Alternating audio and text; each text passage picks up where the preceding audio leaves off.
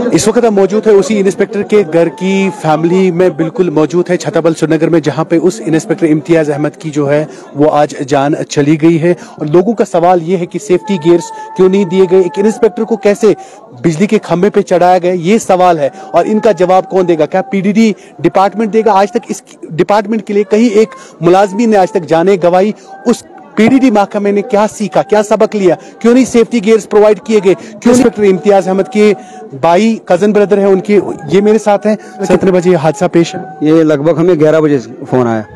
ग्यारह साढ़े ग्यारह हमें फ़ोन आया।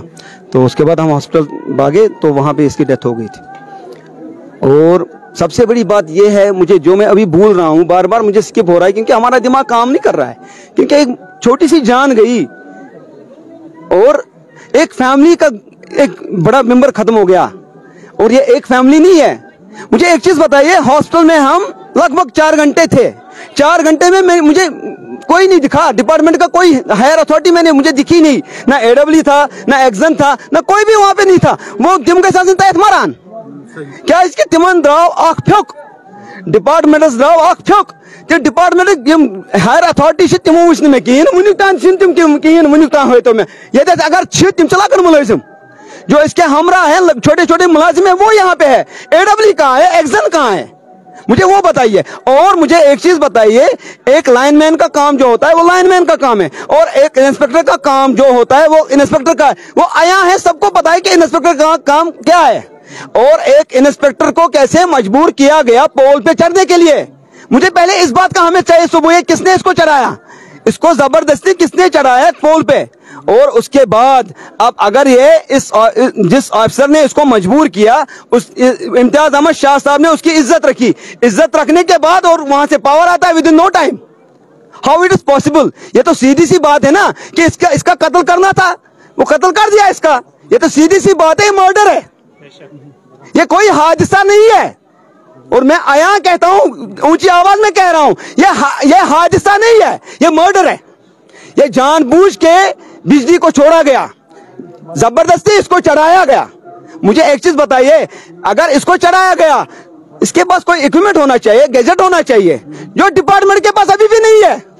कितनी सारे मोते गई, कितने सारे मौजूर हो गए, आदू के हाथ काटने पड़े, आदू के टांगे काटने पड़ी, जो घर में पड़े हुए और अब वो घर वालों के लिए भी एक बोझ बन गए हैं। मगर मुझे एक चीज़ बताइए, मेहरबानी करके इस इस बात के लिए कौन उठेगा?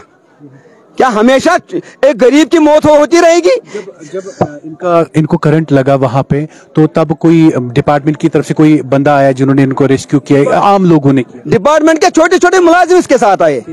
अथॉरिटी हमने कोई नहीं देखी जैसे एडब्ल्यू है जैसे जेई है जैसे एक्जन है या चीफ इंजन वो तो सोया होगा पता नहीं कहाँ पे।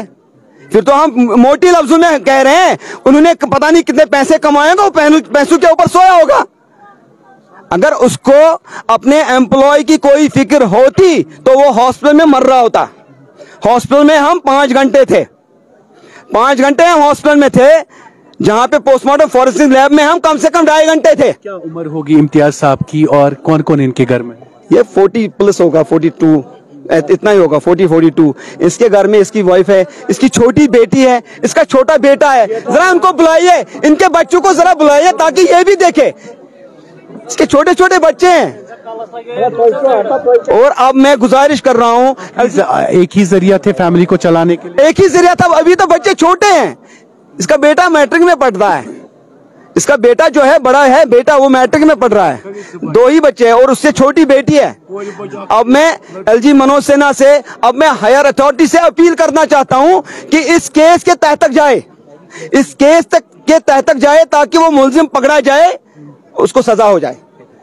मेरे साथ एक हाजी साहब ये चार दिनों में करीबन पीडीडी डिपार्टमेंट के मुलाजमी ने दो जाने गवा दी। दो लोगों की जान चली गई एक पटन में। आपको याद होगा, दो दिन पहले वो भी हमने आपके सामने जहाँ पे एक लाइनमैन की जान चली गई, जब उसको बिजली के खंभे के ऊपर चढ़ाया गया। उनके पास भी सेफ्टी गेयर्स नहीं थे और उस शख्स की भी जान चली गई। आज जो है श्रीनगर का छताबल इलाका, जहाँ पे इम्तियाज़ अहमद इंस्पेक्टर, उनकी जान चली गई। सेफ्टी गेयर्स नहीं बार बार फैमिली सवाल पूछ रही। अब इस फैमिली के साथ होगा क्या? छोटे छोटे छोटे बच्चे उनके पैंतालीस साल उनकी तकरीबन इम्तियाज़ अहमद की उम्र होगी। मेरे साथ एक हाजी साहब है। हाँ सर मे अर्ज़ ये अमि खुदायस बगैर कई सहारा कह सहारा बिल्कुल कह सहारा वतो हाँ बह वात मासू मासूस मासूस लिहाजा कर अमिस कहें सहारा खुदा। बिल्कुल बच्चे कौर बच्चे अख ये ये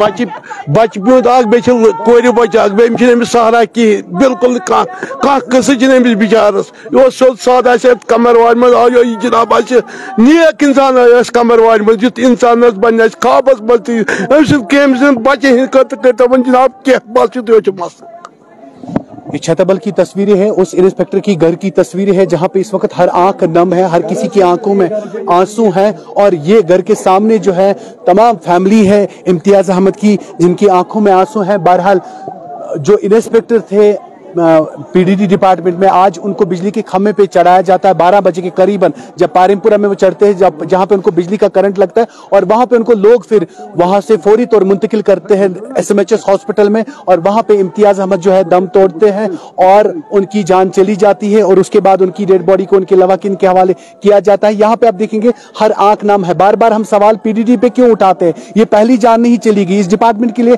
पहले शख्स ने ये जान नहीं दी। इससे पहले भी कई एक लोगों की जाने चली गई। इस डिपार्टमेंट के लिए, मगर आज तक पीडीडी डिपार्टमेंट ने किया क्या?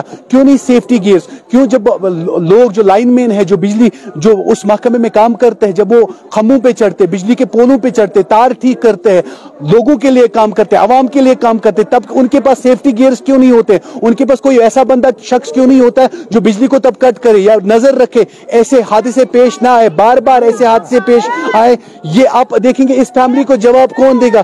कौन इम्तियाज़ अहमद के फैमिली को जवाब देगा, क्या वो पीडीडी महकमा होगा, क्या कंपनसेट करेगा, क्या इस फैमिली को जवाब मिलेगा, क्या इनका लगते जिगर वापस मिलेगा? ये हम सारे सवाल इससे पहले होने चाहिए और इनका जवाब कहीं ना कहीं पीडीडी महकमे को देना पड़ेगा, क्योंकि इससे पहले भी पहला वाक्य नहीं, इससे पहले भी कहीं एक हादसे, कहीं एक लोगों ने किसी ने अपनी टांग गवाई, किसी ने अपने बाजू गवाए, किसी की टांग कट गई, इसी डिपार्टमेंट के लिए और कहीं एक लोगों की जाने भी चली गई, मगर तब से ये पीडीडी महकमा जो है टस से मस क्यों नहीं हो रहा और क्यों नहीं लोगों की सिक्योरिटी और उनकी सेफ्टी के लिए सोचा जाता है, जो इस डिपार्टमेंट के लिए रात दिन काम करते, जो लोगों के लिए, आवाम के लिए काम करते हैं। आज एक माँ ने, आज एक बहन ने अपने लगते जिगर को खोया। अब क्या होगा इस फैमिली का? अब कौन इस फैमिली का सहारा होगा? वाहिद ज़रिया थे इस फैमिली को चलाने के लिए, इस घर परिवार को चलाने के लिए।